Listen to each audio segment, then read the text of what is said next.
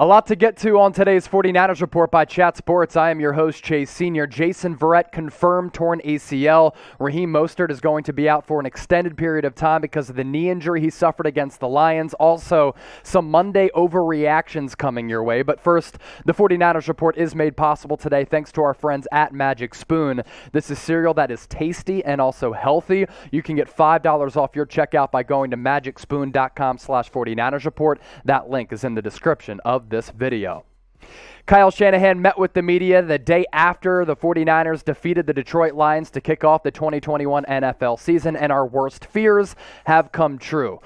Cornerback Jason Verrett has suffered a torn ACL. That news made official today. Suffered that injury against the Lions on a non contact play in the second half. Tried to walk off the field, go to the locker room under his own power, was unable to do so, had to be carted to the locker room. We knew at that point it was not good news. Really unfortunate for him because he suffered a bevy of injuries throughout his NFL career. So now you're looking at what was an already thin defensive back depth chart for the Niners becoming more thin. Your starters, when everybody is healthy as of right now, Emmanuel Moseley, Jaquiski Tartt, Jimmy Ward, Deommodore Lenoir. You have K'Waun Williams, who can play a little slot, Tavon Wilson, Talanoa Hufanga. The Josh Norman signing becomes very, very important. I thought Dontae Johnson got cooked yesterday in coverage, wasn't good at all, and Ambry Thomas is still very, very raw. This injury news for Jason Verrett has hit this organization hard because coming out of TCU, first round pick. His career got off to a wonderful start. Then he dealt with a variety of injuries, a torn ACL earlier in his career. Now he suffers another one. And this is a guy whose career kind of rerouted because of he was plagued by injuries. But the last couple of years, last year especially with the Niners, he was able to reclaim his career to a certain degree, prove that when he's healthy, he can be one of the top cornerbacks in the league. But in game one, the season opener, he suffers a season ending injury. After the game, Kyle Shanahan had some wonderful things to say about JV. He said this quote, It's crushing. I'm hoping for the best. It's just crushing. The bad luck he's had putting together the last two years, staying healthy, how good of a camp he had. Got a lot of love for JV. I have as much respect as anybody uh, for him that I have been around. One of the positive developments coming out of the Lions win as the 49ers able to escape Detroit with a win after blowing that 38 to 10 lead in that second half is how Deommodore Lenoir played. He was targeted 3 times, only gave up one catch. He played an NFL high not a 49ers high, an NFL high 90 snaps in his first ever career game as a pro, leading every defender across the National Football League. And I thought Deommodore Lenoir, the fifth round pick out of Oregon, held up very well in coverage. He's going to be asked to do a lot with Jason Verrett now being lost for the season. Of course, because Verrett has gone down and the Niners secondary is somewhat thin, we are talking about some Richard Sherman rumors because there have been some rumors, there's been some chatter about Sherman coming back to San Francisco. He's currently without a team. He is currently a free agent, still dealing with some of the legal issues that surfaced a couple months ago. But Kyle Shanahan did talk about Richard Sherman after that Lions game, saying, Yeah, we've discussed bringing him back and I've talked to Richard Sherman about it. Richard Sherman is always a possibility. So, inside the facility in Santa Clara, this has been a topic of conversation, and now it's more of a topic of conversation because of the injuries going on in the secondary. I think Richard Sherman can still play.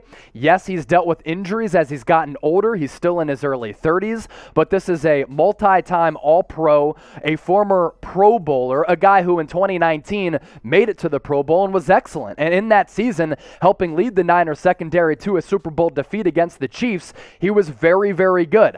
I'm not saying he can play at this level, but can he play to some level of this level? 61 tackles, two tackles for loss, 11 pass breakups is an elite number, and three interceptions. He might not be the shutdown cornerback that he was once in his prime, but is he a better option than a Dontae Johnson or a Josh Norman? My answer to that would be yes. And because of that, and because of the injury issues going down right now, as we continue to talk about injury issues with this franchise, I am all in in bringing Richard Sherman back. I think he can still play. He can be a good depth piece at the minimum. He could be a fantastic developmental coach out there for the young pieces in a Lenoir as well as an Ambry Thomas. I think the Niners should bring him in, and I think potentially it's only a matter of time before that happens. Niner Gang, your opportunity to voice your opinions. Do you want the Niners to bring back Richard Sherman? If you do, hit that thumbs up icon and like this video. That's what I'm going to do when, when this video is made official. This is why you subscribe to the 49ers Report by Chat Sports because when breaking news like this happens, when alerts do surface, we have you covered within minutes of that news becoming official. Hit that red subscribe button down below or go to youtube.com slash 49ers TV. We just surpassed 39,000 subscribers. Let's get the 40K ASAP. The Jason Verrett injury news, not the only injury news that we're talking about after Kyle Shanahan met with the media. Raheem Mostert, he's going to be going on IR. He's going to be lost for at least eight weeks, according to Kyle Shanahan in the first quarter against the Lions. He chipped off a piece of knee cartilage, which sounds really painful, and I didn't even know this was possible. Mostert like Verrett, another player throughout his NFL career who's dealt with a plethora of injuries, and now he's dealing with another one. Kyle Shanahan also did say during this snippet that Trey Sermon is now going to be active in week two against the Philadelphia Eagles after he was a surprise healthy scratch against the Lions to kick off the season. In his place of Raheem Mostert and Trey Sermon, who shined? The sixth round pick out of Louisiana, Elijah Mitchell, who was absolutely fabulous against the Lions. And I understand the Lions are an awful football team, so take it all with a grain of salt when we're talking about the Niners' week one performance. But for a rookie in his first career game, like Deommodore Lenoir, to show up and show out, I was impressed. Mitchell, 19 carries, 104 yards, one touchdown, and the lone tutty, a 39 yard touchdown run to the crib. Josh Dubow put out a very, very interesting tweet saying this about Mitchell because what he did was to historic proportions. 49ers six round pick Elijah Mitchell is the first rookie since the merger drafted in round four or later to rush for 100 plus yards in a season opener. The previous high was 96 for six rounder Alfred Morris in 2012 when he played for Washington. Under who? Kyle Shanahan as his offensive coordinator and current 49ers running back coach Bobby Turner, who's one of the best RB coaches in the National Football League. So without Mostert, with how Mitchell played and JaMycal Hasty, who was really good and had a touchdown run for himself. What's your level of confidence in the Niners running backs going into week two against an Eagles team that really surprised a lot of people with a win on the road against the Falcons? Scale it for me from one to 10. One being, I'm not confident at all. 10 being, I'm very confident. When you have Bobby Turner and Kyle Shanahan, they're both magicians working with running backs. I have no problem with this running back room. As I mentioned off the top, today's 49ers report is made possible thanks to our friends at Magic Spoon. Per serving of this delicious and healthy cereal, it's, you get under 200 calories per bowl, 13 to 14 grams of protein, 4 grams of net carbs, and here's the best thing 0 grams of sugar. So basically, if you love cereal, the way it tastes, you like your morning routine like I do, and you like crushing a bowl of cereal before you go to work or before you work out, Magic Spoon is the answer because unlike all of the other traditional popular brands that load up their uh, cereal brands with carbs and sugar. Magic Spoon doesn't do that. So one more time, head to magicspoon.com slash 49ers report. When you plug in that link, you get $5 off your purchase. It's an absolute no-brainer.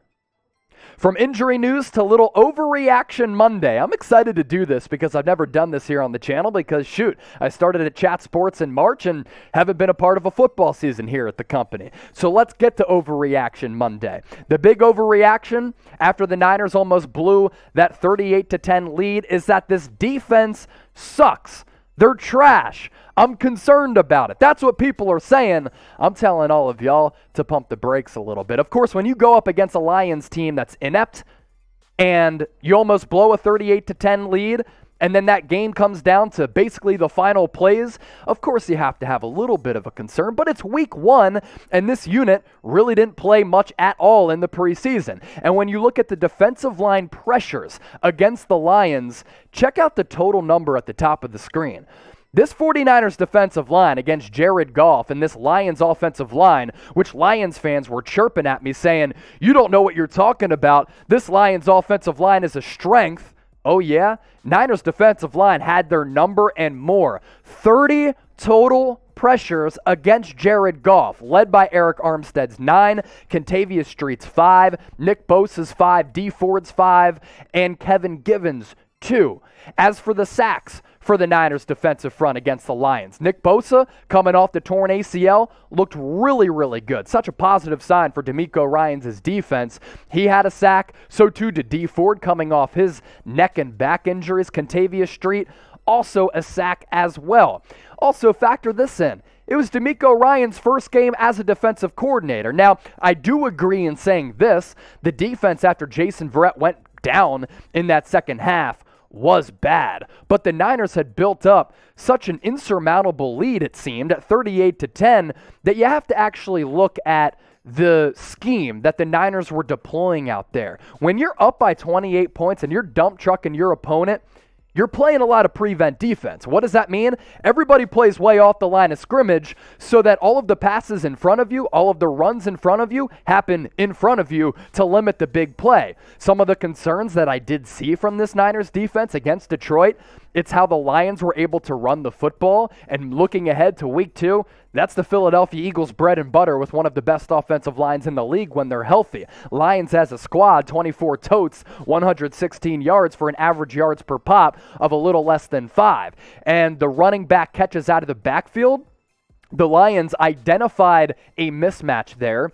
They identified a weakness on that Niners defense, and they were able to throw a lot of screens that led to big plays. But again, when you're playing prevent defense to limit the offense taking it over the top, some of those screen passes are going to go for large amounts of yards. I'm not too concerned about the Niners defense. I think this unit is a strength, but what do you think? This is your opportunity to let me know in the comment section. Are you concerned about the Niners defense? Type Y for yes or type N for no. Next overreaction. Kyle Shanahan, overrated as a head coach. Kyle Shanahan is a choke artist. Now, a lot of people are saying this because when you look at Kyle Shanahan's resume, some choke jobs have happened. But Kyle Shanahan is a wizard of an offensive mind, and I thought he called an excellent game against the Lions, which we'll get to here in just a bit. But you look back at the Super Bowl when the Falcons lost that 28 to 3 lead against the Patriots. Who was the offensive coordinator? It was Kyle Shanahan. Some people put the blame on him as to why Atlanta faltered down the stretch. And then when Kyle Shanahan was the head coach of the Niners back in 2019 in the Super Bowl against the Chiefs, the 49ers had a 21 10 lead going into the fourth quarter. What happened? Chiefs came back. I think that was more of a product of the Chiefs just being an elite offensive unit as compared to the 49ers being inept at the head coaching spot. Going back to Shanahan against the Lions in the run game, in the pass game, play design, play schemes, putting in Trey Lance at certain situations, I thought Kyle Shanahan was in his bag. But there is one thing I want to see Kyle Shanahan work on, and this goes back to those Super Bowl losses. Keep the damn pedal to the metal and step on the opponent's throats and stay there. Do not let up, do not give up, and do not get complacent continue to run up the scoreboard. I hate these unwritten rules of you have to show respect to your opponent. Don't run up the scoreboard. Well, when you almost blow a 38 to 10 lead in the season opener against a bad football team, when you've been an offensive coordinator and a head coach for two teams that almost blew and did blow Super Bowl leads, excuse me, you have to learn from your lessons. And you have to learn from your failures and your past experiences. And Kyle Shanahan, in his post game press conference yesterday, did admit, yeah, we let up a little bit. Well, Kyle, you can't do that any longer. Niner gang, let me know. Were you annoyed by Shanahan on Sunday with the way that he coached the game and approached it in game with his decision making. Type A for, yeah, I'm annoyed, Chase. Type G for, he's a great coach. I'm going G for great coach because Kyle Shanahan, one of the best offensive minds in the league. Another overreaction. Maybe it's not an overreaction, actually. Where was Brandon Aiyuk? Trent Sherfield had a big day, which was great, by the way, but where was Brandon Aiyuk? Yeah, I mean, Brandon Aiyuk was kind of in the witness protection program. A lot of interesting things coming out about Brandon Aiyuk. Now, he did deal with a hamstring issue in training camp, which is a big reason why he didn't get a ton of playing time yesterday, but also looks as though Kyle Shanahan is in favor of Trent Sherfield right now over Brandon Aiyuk because Kyle Shanahan said this. We started Trent Sherfield. They've been rotating a lot throughout the preseason, but Aiyuk has only been back for a week after he tweaked his hamstring, and we want to be smart with that. Here's the most important thing to note, though, of Shanahan saying. Also, Trent Sherfield has earned the right to be out there more. Brandon Aiyuk yesterday, he only played 47% of the snaps, zero targets from Jimmy Garoppolo. I think that's of note. I've been on the record saying Aiyuk, he's a baller. Last year led the Niners in receiving. He showed so many flashes as a rookie. A steal with where the Niners got him in the first round 2 years ago in my opinion. I think he has 1000 yard potential. But Matt Maiocco of NBC Sports Bay Area said Brandon Aiyuk still learning to be a pro. So is he immature? Is he not getting acclimated with the NFL game? Is he not taking his craft, practice, and approaching the games in a serious manner? That's what a quote like that and a report like that kind of indicates to me. So, in that fashion, I am a little bit concerned. And honestly, he's hopping on the PJ to go to Detroit and he's handing off his PlayStation. I mean, I don't know. I'm not a big video game guy, and I'm not ripping on people who play video games, but when I'm getting ready for an NFL game or I'm getting ready for work, I'm not bringing my PlayStation on a road trip. That's for damn sure. So, Aiyuk, if you got to mature, mature because you have all world potential, and your potential is absolutely unlimited. Another reminder, y'all subscribe to the 49ers Report. Who is doing what we're doing here on the channel? First of all, largest 49ers channel on YouTube. We hit you with the latest news and rumors. When breaking news happens, we have you covered. Did you join us for our watch party for 49ers Lions on Sunday? 60,000 people joined us throughout the afternoon. Here's the good news we're doing it again for week two against Philly. Hit that red subscribe button down below for the best 49ers coverage right here on YouTube.